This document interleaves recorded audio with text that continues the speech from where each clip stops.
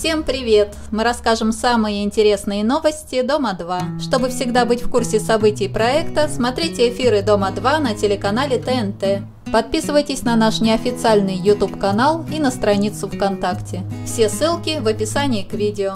Никита Кузнецов решил завести себе подружку. Знакомьтесь, это мисс Panasonic. Марина Африкантова и Андрей Чуев агитируют поклонников голосовать в финале за пару Саши Гозиас и Кости Иванова. У нас шансы на победу очень малы, а ребята в случае выигрыша обещали с нами поделиться. Мы сыграем две свадьбы в один день. Ну а пока, по данным голосования, в конкурсе побеждает пара Саши Артемовой и Жени Кузина. Голосование продлится до 7 февраля, причем ведущие обнулят предыдущие голоса. Итоги голосования будут объявлены 14 февраля. Петр Шепель по просьбам телезрителей показал свою фотографию без бороды. «Пока сбривать бороду не планирую», — говорит он, — «не для кого». Ваня Заря сообщил, что почти все участники на поляне больны гриппом. Маша Кокно по направлению от проекта «Дом-2» отправилась на консультацию к психологу. У девушки много проблем, и справиться она с ними не может.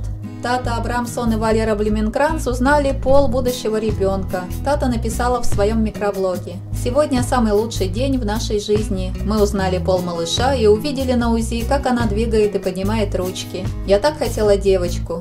Ольга Бузова опубликовала фотографии с очередной фотосессии. Всеобщее возмущение вызвала развратная поза Ольги на одном из снимков. Многие считают, что этот кадр очень неудачен. Женщина без рук с телом ребенка и с ногами Гулливера. Илья Ебаров доказал своим подписчикам, что он не бездельник. Он опубликовал фотографию, на которой ему 20 лет. Он только что уехал из дома в Москву и работал на стройке рабочим. «Я никогда не брезговал ни на какой работе», – написал Ебаров. «Труд – это святое. Мне никто и никогда не делал подачки». На телеканале «Пятница» стартует новый проект «Инстаграмщицы». И среди героинь оказались Нелли Ермолаева и Женя Феофилактова. Девушкам устроят безжалостное испытание. Они будут жить обычной жизнью, без интернета, без фотошопа. Будут работать на обычной работе, например, продавщицей рыбного отдела или домработницей. Бывший участник телепроекта Рустам Петрович Солнцев под видом кастинга на Дом-2 гастролирует по многим городам. И после его выступления на белорусских сайтах обсуждают ход мероприятия и хамское поведение Рустама. Многих оскорбили высказывания Рустама и его манера поведения. Он кричал, что некрасивым девушкам и без утиных губ на проекте делать нечего. Николай Должанский не перестает шокировать своих подписчиков.